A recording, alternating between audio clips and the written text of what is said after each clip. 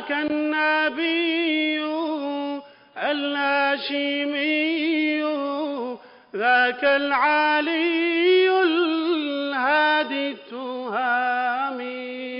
هدي النبي صلى الله عليه وسلم هو المنهاج الذي به تحل العقد وتصلح ذات البين فتتعزز عرى الروابط الإسلامية والأممية.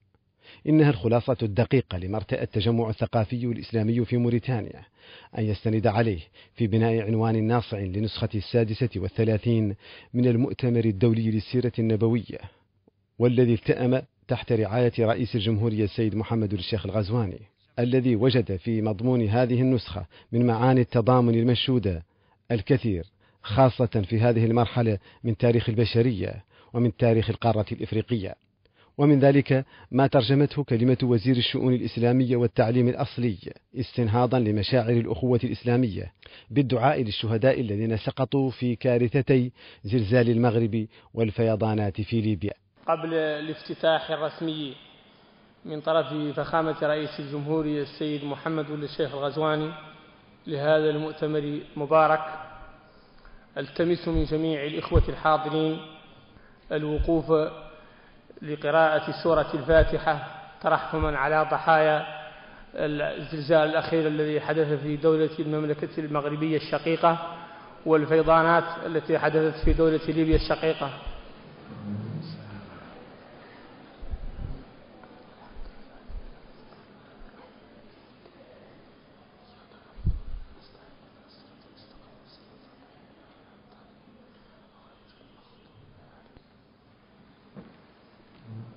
الدعاء عبادة. تكتنز مشاعر الأخوة الصادقة مثل العلم الذي هو وسيلة لحل مشكلات الأمة من خلال نفرة علمائها عبر وضع مقاربات تقاس في ميزان الشرع وتستأنس بسيرة المصطفى صلى الله عليه وسلم في لم الشمل وتقوية أواصر المحبة لتظل البشرية تحت راية السماحة والسلام.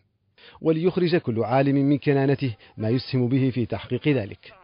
فهذا الشيخ طاهر بن محمود أشرفي رئيس مجلس علماء باكستان. رأى فيما يقوي الصلات بين موريتانيا وباكستان أكثر من مجرد اشتراك صفة الإسلام في اسمي الجمهوريتين. فالعلاقات الروحية والعلمية كسرت الحواجز والحدود وقربت القلوب من القلوب على رغم تباعد الأجساد.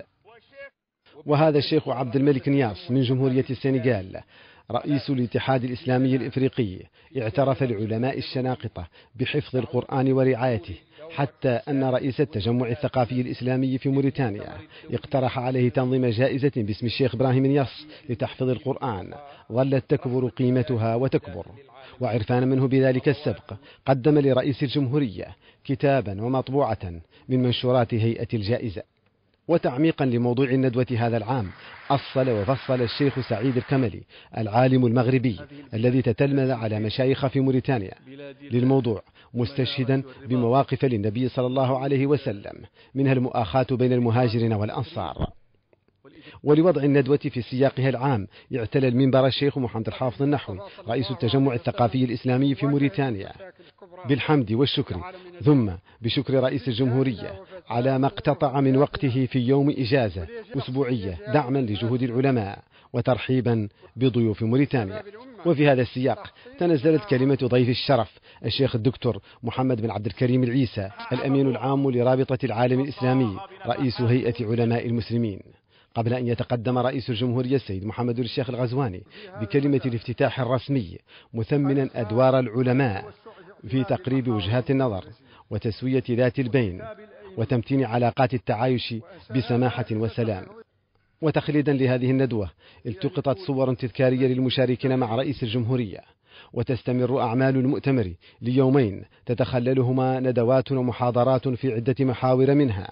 محور يتحدث عن الحلول الإسلامية للصراعات في ضوء الهدي النبوي ومحور عن الصراعات في إفريقيا الأسباب والحلول.